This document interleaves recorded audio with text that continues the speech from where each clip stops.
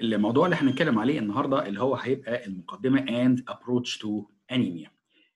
أول حاجة إحنا بنحب نتكلم عليها أو دايما أنا بحب أفضل إن أنا أبتدي بال basic physiology.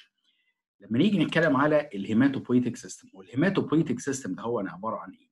عبارة عن ال blood عبارة عن ال bone marrow عبارة عن ال liver وعبارة عن ال spleen وعبارة عن ال kidney. بمعنى إن ال hematopoietic system this is a diverse system موجود في أكتر من مكان جزء من ال cells بتاعته موجودة في ال blood وجزء في ال bone marrow وجزء في ال liver وجزء في ال spleen وجزء في ال kidney. طيب ال blood عبارة عن إيه؟ ال blood بيمثل 8% من ال body weight. ال blood هو بيتكون من حاجتين جزء منه cells وجزء منه fluid element. ال cellular element اللي هي بتمثل 45% وال fluid element اللي هو 55%. ال cellular element اللي هي عبارة عن إيه؟ ال cellular element اللي هي عبارة عن ال red blood cells، ال white blood cells وال platelets والجزء ال fluid اللي هو البلازما. لما نيجي نتكلم على ال red blood cells اللي هي ال erythrocytes. ال erythrocytes ال function الأساسية بتاعتها إن هي carrying oxygen and delivering oxygen to the tissues يبقى ال function الأساسية بتاعت ال red blood cell من خلال ال major components بتاع ال content بتاعها اللي هو الهيموجلوبين ال function الأساسية بتاعتها اللي هي carriage and delivering oxygen to the tissues. بالنسبة لل white blood cells ال white blood cells بأنواعها المختلفة زي ما هنشوف دلوقتي ال function الأساسية بتاعتها إن هي it mediates the immune response to combat infections. ال platelets زي ما هنتكلم بعد كده أما نيجي نفتح الموضوع بتاع ال coagulation ال platelets they play a very crucial role في ال coagulation. بالنسبة بقى للبلازما البلازما اللي هي fluid part ده عبارة عن إيه؟ ال fluid ده عبارة عن mix ما بين ال water ال electrolytes and plasma proteins. طيب عشان نفهم برضو القصة من أولها إزاي إحنا هنتكلم دلوقتي على topic اسمه the bone marrow and hematopoiesis. hematopoiesis اللي هي ال formation of the cells inside the bone marrow.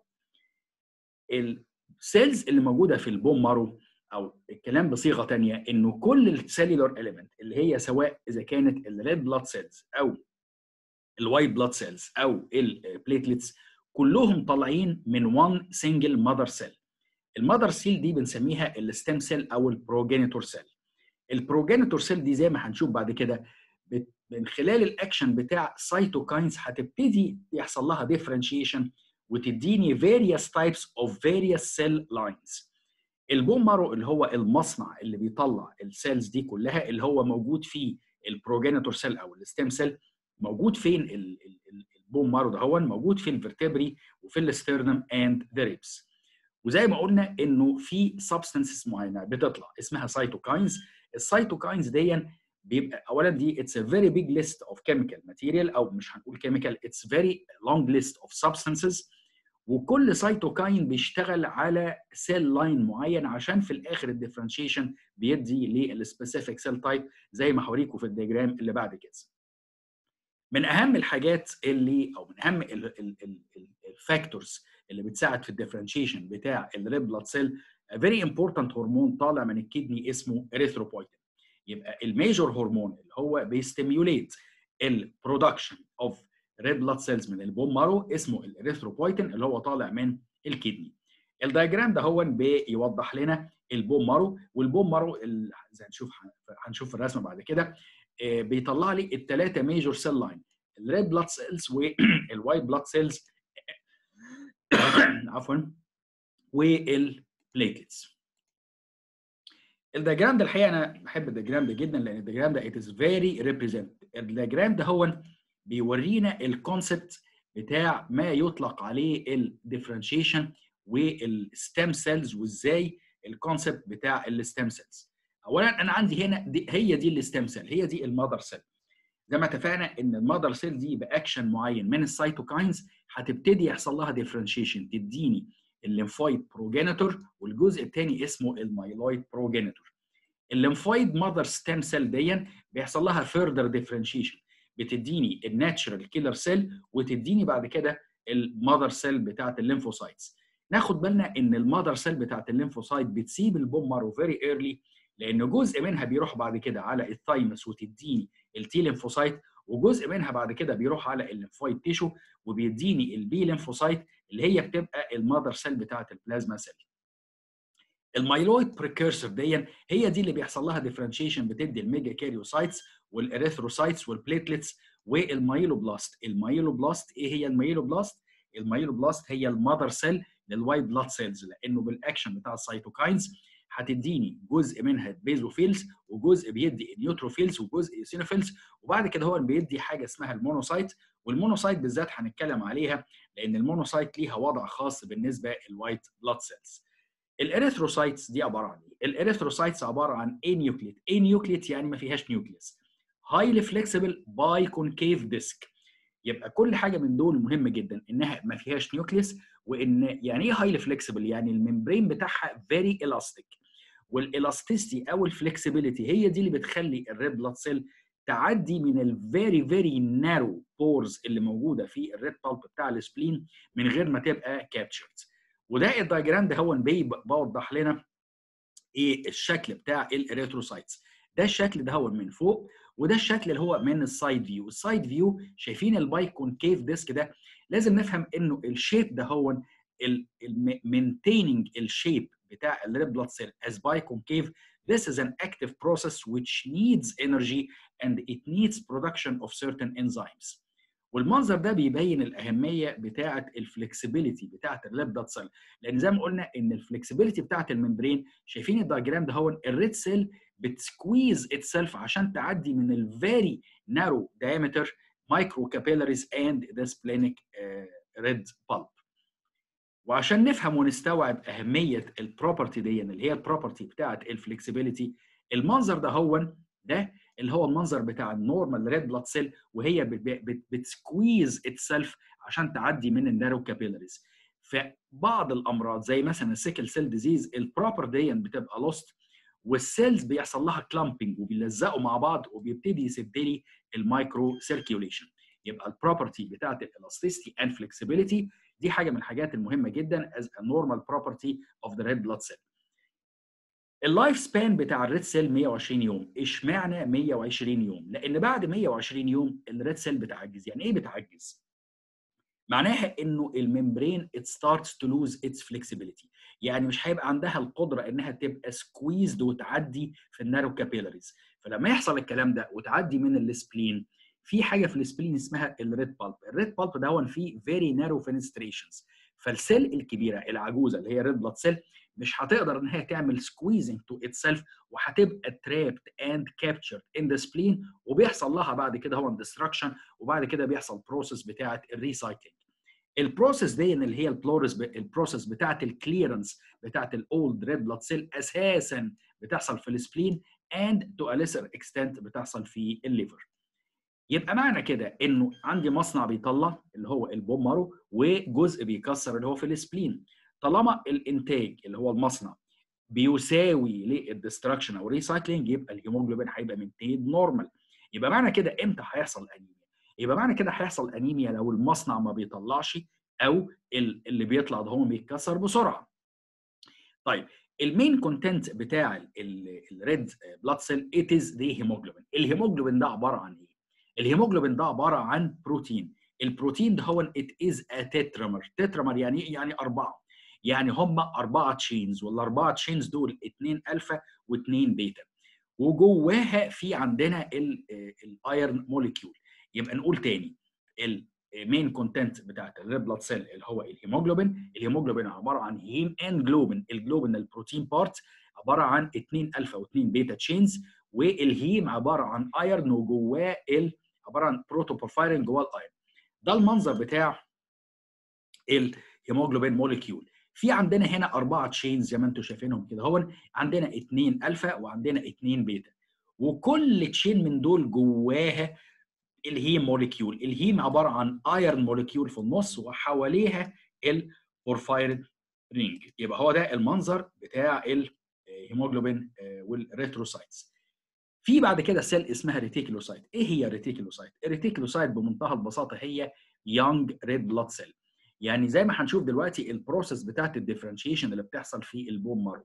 بتبتدي من mother cell وبتبتدي يحصل لها maturation و differentiation لغاية ما تدي خليه اسمها ال reticulocyte ال reticulocyte دي هي بعد كده اللي هتبقى ال mature red blood cell. طب ال reticulocyte بتفرق في إيه بالظبط عن ال red blood cell؟ اولا بيكون فيها remnant من ال RNA والحاجة اللي بعد كده هو ال staining بتاعها أما بتبقى stain بتدي bluish color والحجم بتاعها بيبقى أكتر شوية من ال red blood cell. وزي ما اتفقنا إن بيكون فيها بقايا nucleus يعني بقايا RNA لأن بعد كده هو الجزء اللي هو فاضل في ال nucleus as RNA remnant ده بعد كده بتروح على ال spleen وبتبقى captured في ال spleen بيشيل الكلام ده كله وبيحول ال red blood cell أو بيحول ال reticulocyte إلى mature red blood cell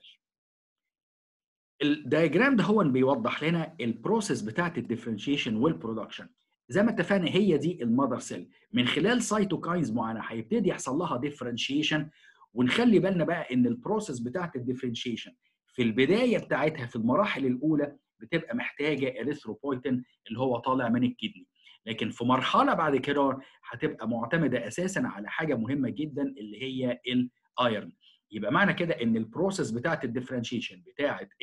ال mother stem cell أو اللي هي progenitor cell عشان تديني في الآخر ال mature red blood cell في المراحل الأولانية بتبقى محتاجة اريثروبويتين لكن بعد كده هو بتبقى محتاجة iron اللي هي في الآخر بعد كده ال bone marrow بيطلع الخلية الشابة اللي هي اسمها reticulocyte زي ما إحنا شايفين كده هو جوه ال reticulocyte في remnant من ال RNA بتروح بعد كده على ال spleen بيعمل picking up لل remnant بتاع ال RNA وتديني بعد كده هو ال mature red blood cell ودي برضو نفس الرسمة والرسمة دي زي ما اتفقنا ال concept اللي يهمني إن إحنا نعرفه إن المرحلة الأولانية بتبقى dependent على ال supply بتاع الاريثروبويتين لكن هتيجي بعد كده مرحلة هتبقى dependent على ال adequate supply بالنسبة لل iron ال granulocytes اللي هي زي ما اتفقنا طالعين برضو من ال mother cell اسمها ال myeloblast ال granulocyte في عندنا منها كذا نوع.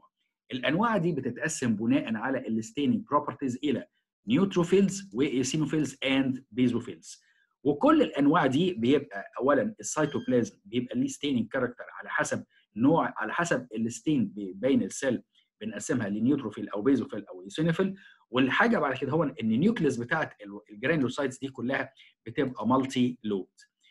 في بعد كده عندنا monocyte إيه ال monocyte ال monocyte زي ما شفنا أو هنشوف تاني في ال slide بعد كده. ال monocytes دي أساسا على عكس كل ال granulocytes يعني إحنا لما جينا نتكلم على ال granulocytes اللي هي ال neutrophils وال basophils وال eosinophils دول بيبقوا موجودين في ال blood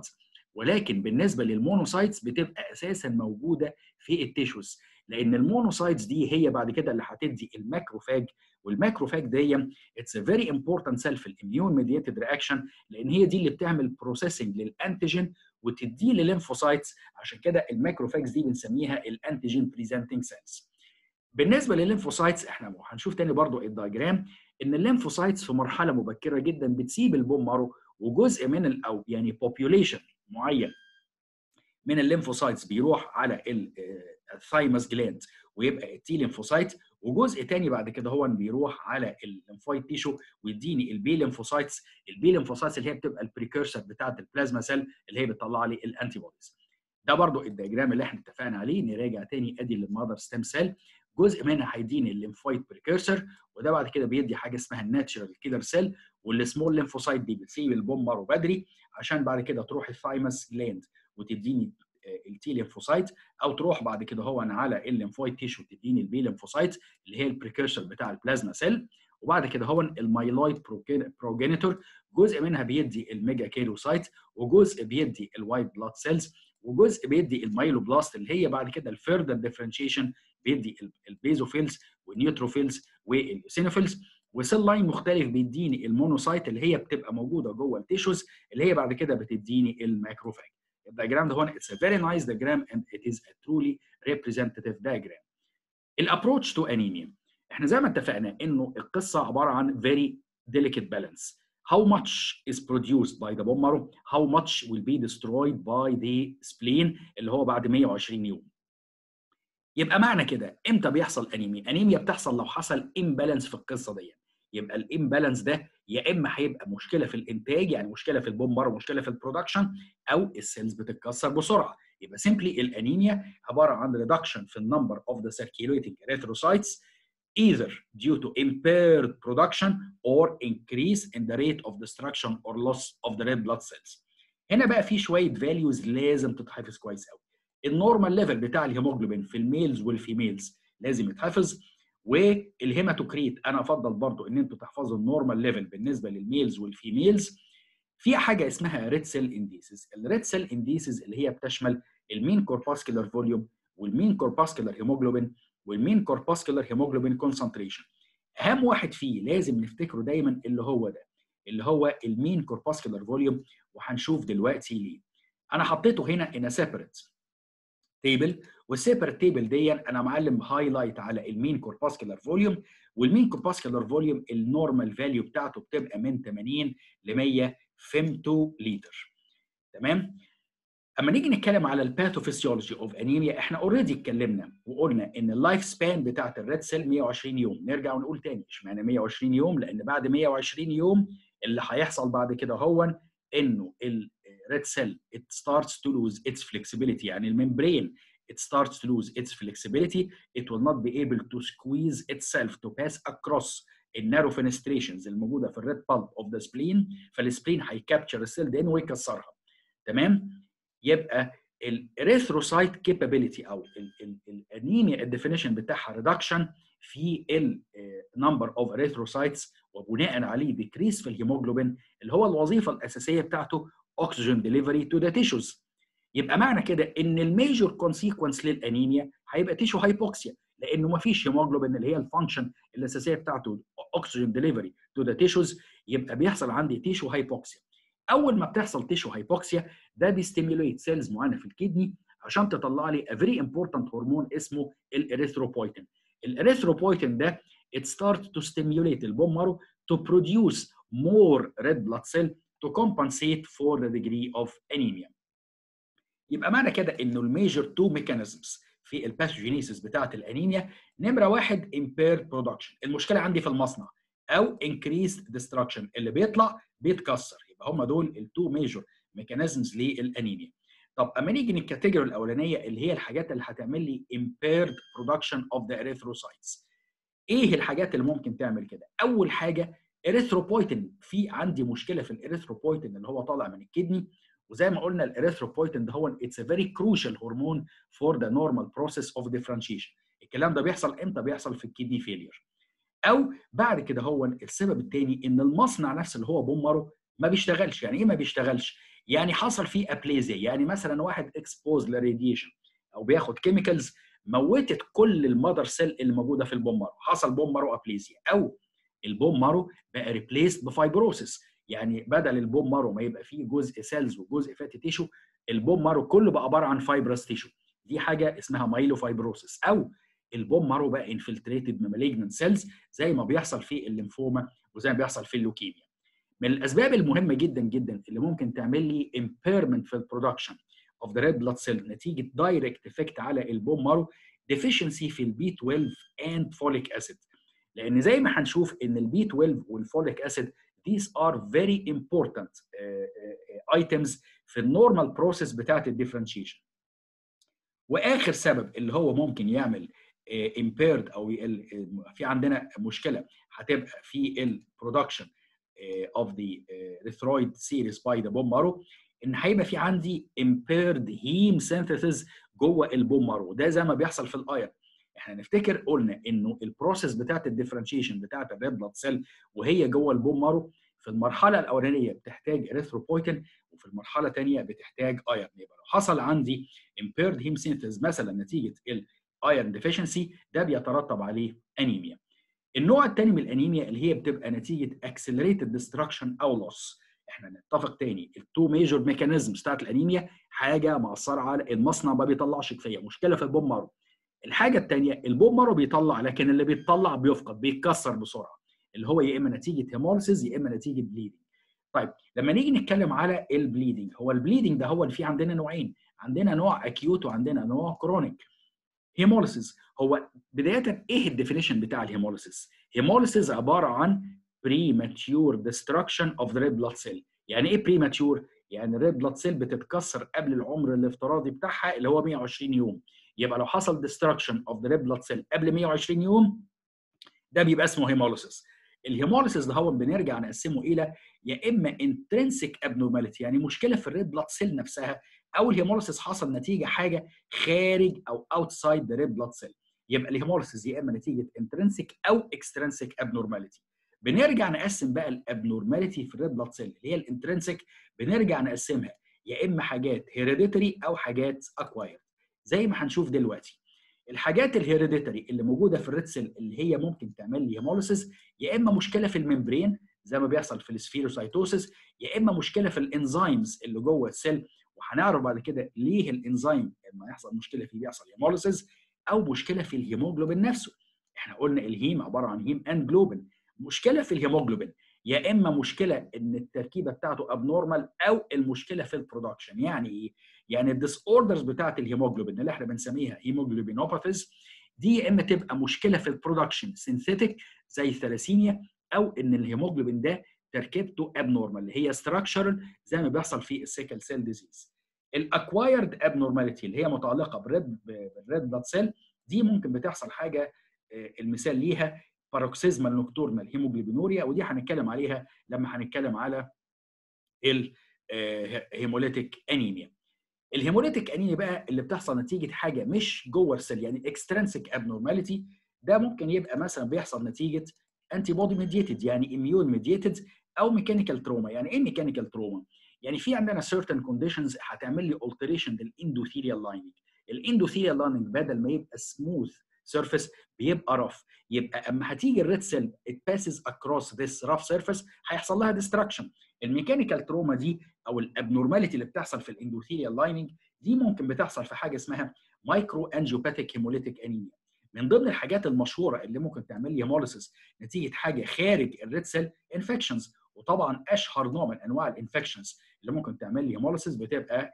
الملاريا. العيان اللي عنده أنيميا بيشتكي من إيه؟ معظمها بتبقى non-specific symptoms يعني إيه non-specific symptoms fatigue dyspnea and exercise intolerance لو عيان بقى عنده ischemic heart disease الأنيميا اللي بيترتب عليها hypoxia it can produce or it can lead to angina أو myocardial infarction. نفس القصة. العيان اللي عنده peripheral vascular disease يعني عنده atherosclerosis في ال arteries بتاعت ال lower limb الأنيميا ممكن تعمل لي claudication pain يعني إيه claudication pain حاجة كده بالظبط زي ال angina يعني يمشي سمانة رجله تقفش عليه. ده ممكن يبقى as a symptom of anemia. ال physical signs اللي إحنا ممكن نشوفها في عيان عنده انيميا بنبص بنلاقي pallor في ال skin وال mucous membranes ممكن بيبقى في عندهم orthostatic hypotension ولو الحالة حاله hemolytic anemia بيبقى فيها specific signs لل hemolytic anemia على حسب نوع ال hemolytic anemia زي ما هنشوف بعد كده. لما نيجي نتكلم على ال compensatory mechanism الجسم بيعمل إيه في حالات الأنيميا؟ في عندنا very important equation بتقول إن الأكسجين delivery to the tissues it is the product of blood flow multiplied بال hemoglobin concentration multiplied by the difference of oxygen saturation بين ال arterial side and the venous side. العيان بقى اللي عنده انيميا بيعوض إزاي؟ compensatory mechanism بالنسبة لل blood flow بيحصل increase في ال cardiac output. بالنسبة للهيموجلوبين بيزيد الاريثروبويتين عشان يطلع لي excess red blood cells من ال bone marrow. القصة بتاعت ال saturation دي بتتحل إزاي؟ إن مع الأنيميا في عندنا changes معينة بتحصل جوه ال cell وبيبقى في less affinity of hemoglobin وبناء عليه بيحصل more effective delivery of the oxygen to the tissues. آخر حاجة هنتكلم عليها algorithm كده سريع إحنا إزاي يعني how to approach diagnosis of anemia. زي ما اتفقنا أول حاجة بنشوفها هنلاقي هيموجلوبين واطي والحاجة الثانية أول حاجة نبص عليها تبقى ال mean corpuscular volume. لو لقينا ال mean corpuscular volume ال normal range اللي هو من 80 ل 100 دي بنسميها normocytic anemia ال normocytic anemia أول حاجة بعديها أبص عليها على طول أبص على ال reticulocyte ال reticulocyte count قد إيه؟ ال reticulocyte ده بيبقى reflection لايه ال reticulocyte ده reflection إن ال bone marrow شغال كويس وبيطلع reticulocytes كتير عشان يعوض الأنيميا. يبقى لو لقينا ال reticulocytes عددها كتير وتحديدا أكتر من 2% يبقى معناها إن ال bone marrow ده هو is healthy and it is working to the maximum to compensate for the anemia. وده بيحصل في حالات ال hemolytic anemia أو ال bleeding لكن لو لقينا إن العدد بتاع ال reticulocytes قليل يعني معناها إن بالرغم من الأنيميا المصنع ما بيزودش إنتاجه. ده اللي بنسميها ال hypoproliferative ودي بتحصل في حالات اللوكيميا أو ال aplastic anemia طيب لو لقينا ال MCV أقل من 80 لو أقل من 80 بيبقى اسمها microcytic anemia زي ما هنشوف بعد كده إنه أشهر سبب من ال microcytic hypochromic anemia بتبقى ال iron deficiency anemia يبقى لازم بعديها على طول أعمل حاجة اسمها iron studies دي هنتكلم عليها بالتفصيل. وال iron studies أساسا بتشمل بتشمل الايرن والفيرتين والتوتال ايرن بايندينج كاباسيتي والترانسفيرنس ساتوريشن لو لقينا ال serum iron is low وال ferritin is low يبقى في الحالة دي هيبقى دي iron deficiency anemia لأن لو لقينا ال iron is low وال ferritin is normal دي بتبقى حاجة اسمها anemia of chronic disease وهنتكلم على الموضوع ده بالتفصيل لما هنيجي نفتح الموضوع بتاع ال microcytic hypochromic anemia النوع الأخير لو لقيت ال MCV أكتر من 100 دي اسمها macrocytic anemia لو macrocytic anemia بنقول لل clinical pathology يشوف لنا هل في عندك megaloblasts ولا لأ. يبقى لو لقينا megaloblasts ودي بتبقى خلايا ليها شكل مميز جدا دي هتبقى ال macrocytic anemia megaloblastic anemia وبتحصل يا إما نتيجة ال B 12 أو ال folic acid anemia. لكن لو لقينا macrocytes يعني ال size بتاعها أكتر من 100 فيمتوليتر يبقى دي اسمها non-megaloblastic ودي ممكن تحصل مع ال alcohol abuse أو مع ال myelodysplastic syndromes كده يبقى خلصنا ال introduction بالنسبة للانيميا والمرة الجاية هنتكلم إن شاء الله على ال hypochromic microcytic anemia